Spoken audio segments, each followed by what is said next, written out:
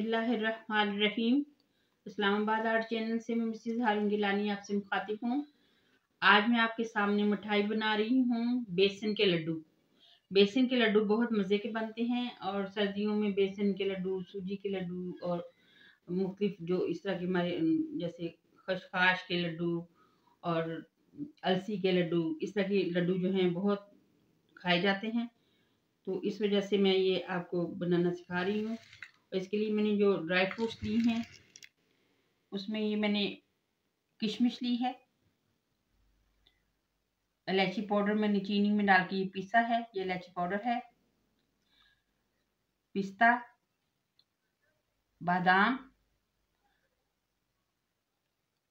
खोपरा, ये सब कटी हुई चीज़ें ली हैं मैंने और ये एक टेबल स्पून जो है पानी डालकर मैंने ये हाफ़ टी स्पून कलर जो है वो येलो फ़ूड कलर जो जर्दा कलर होता है ना, ये वो मैंने घोला है। और इसके अलावा मैंने थोड़ा सा खोपरा लिया है, या आधा बाउल है खोपरा पिसा हुआ। और ये ड्राई फ्रूट जो है, ये मोटे मोटे इसी तरह डलेंगे और ये खोपरा पिसा हुआ लिया है। और इसके अलावा मैंने एक किलो बेसन लिया है। और इसके लिए मैंने छः टेबल स्पून घी लिया है। और ये सारी चीज़ें अब शुरू करते हैं। इसके अलावा जो मीठा करने के लिए हमने इसमें गुड़ शामिल करना है। और गुड़ को मैंने तोड़कर इस तरह एक बाउल में डाल दिया है। आधा किलो बेसन किलो बेसन है, एक किलो बेसन है और आधा किलो ये गुड़ जो है वो, थोड़ा वो गुड़ है। ये हम इसका शीरा बनाएँगे। बेसन को मैंने सबसे पहले भूनना है। उसके लिए मैं तकरीबन फोर टेबल स्पून इसमें घी डाल रही हूँ और फोर टेबल स्पून मैं गुड़ में डाल रही हूँ। ये गुड़ जो है ये इसको मेल्ट करने के लिए घी शामिल कर रही हूँ।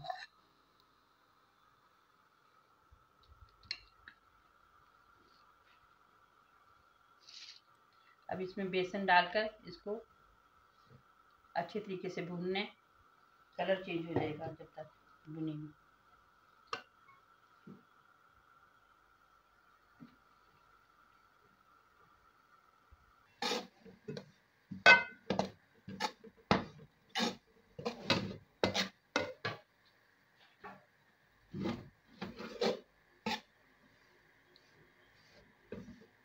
बेसन को अच्छे तरीके से भूनना है।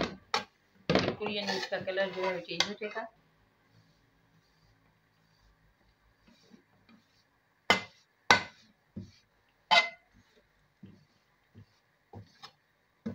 बेसन का जायका ख़राब नहीं करना, ना ज़्यादा जलाना है, ना ज़्यादा, बहुत ज़्यादा ब्राउन भी नहीं करना और ऐसा भूनना है कि इसका कलर और जायका बरकरार रहे।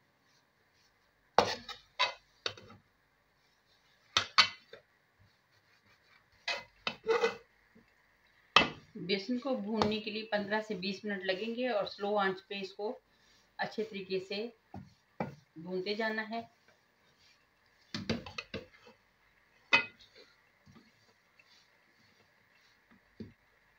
तो गुड़ को मैंने घी डाल के मेल्ट कर लिया है और ये तकरीबन मेल्ट बिल्कुल हो जाने लगा है, बस थोड़ा सा रह गया है हल्का हल्का गुटली है।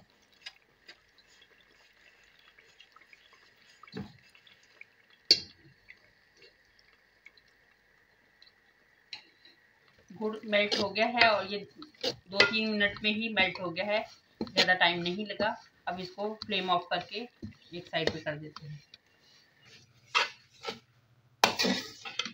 बेसन हमारा भुन चुका है और अब मैं इसमें ड्राई फ्रूट्स शामिल करती हूँ। इलायची पाउडर सबसे पहले। इसको थोड़ा मिक्स करके फिर ड्राई फ्रूट्स शामिल करेंगे।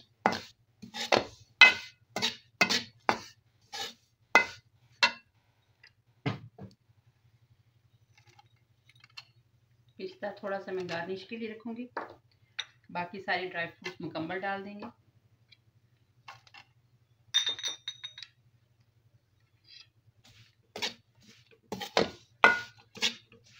बेसन इतना गर्म है कि ड्राई फ्रूट्स खुद ही रोस्ट हो जाएँगे इसके अंदर।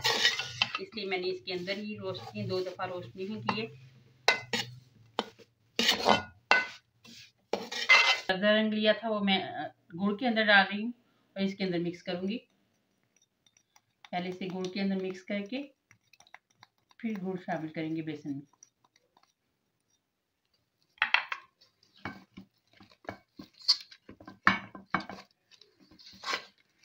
अब ये मेल्ट हुए हुए, गुड़ में बेसन जो हमने बुनाई की है बेसन की इसमें शामिल करके इसको मिक्स करेंगे अब।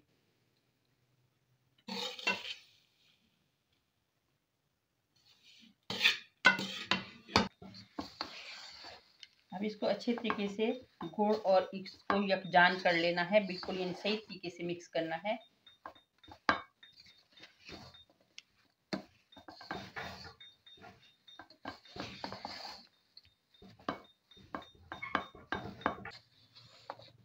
देखिए, इसमें मैंने पानी बिल्कुल भी शामिल नहीं किया।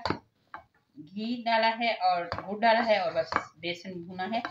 ये बहुत इजी और मिनटों में बन जाता है। कोई इसमें मुश्किल काम नहीं था। ड्राई फ्रूट्स काटने हैं आपने और जल्दी से बेसन का हलवा तैयार हो जाएगा। और बेसन की बस बुनाई अच्छी सी करनी है। कच्चा कच्चापन सारा ख़त्म करना है। बेसन कच्चा नहीं रहना चाहिए। अब इसके लड्डू बन जाएँगे। थोड़ा सा इसको मैं ठंडा कर रही हूँ। बार बार इसलिए हिला रही हूँ ताकि ठंडा हो जाए जल्दी से। और फिर गुड़ जो है वो भी थोड़ा ठंडा हो जाए। गुड़ क्योंकि बहुत गर्म होता है। इसलिए अभी इसको हाथ नहीं लगा सकते, थोड़े इसकी गर्मी निकल जाए, फिर इसको लड्डू बनाने शुरू करते हैं।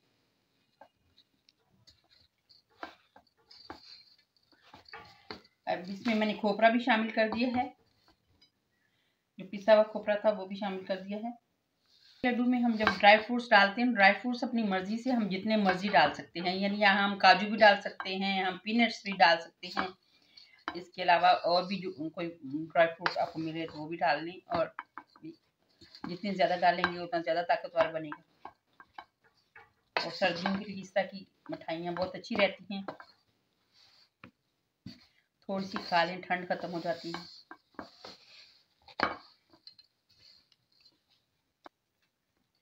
बेसन अभी भी गर्म है, लेकिन थोड़ा कम इसकी हो गई है हीट अब मैं बनाना शुरू कर रही हूँ।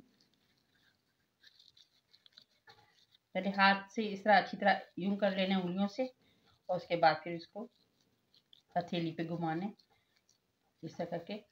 और ये गोल हो जाएगा, बिल्कुल राउंड बन जाएगा। इस तरीके से बना बना के रखते जाना है।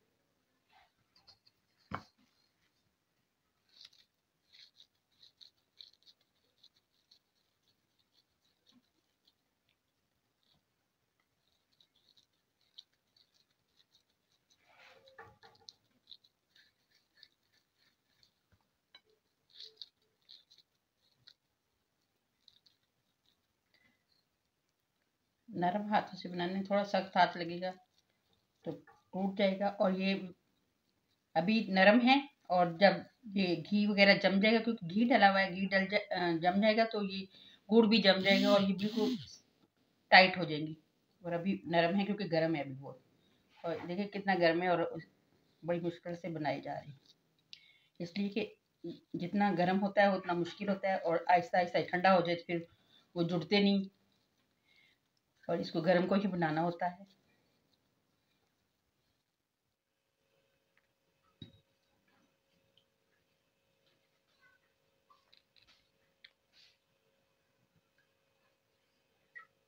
अब ऊपर से हम इसको पिस्ते से गार्निश करेंगे और वैसे लड्डू बड़ी आसानी से बन गए हैं और बड़े मज़े के बने हैं, जायका भी अच्छा है और इंशाल्लाह आप भी बनाएँगे तो अच्छा ही बनेगा इंशाल्लाह।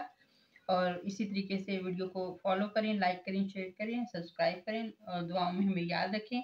नेक्स्ट रेसिपी के लिए हम फिर हाजिर होंगे। इजाज़त दीजिए। अल्लाह निगेबान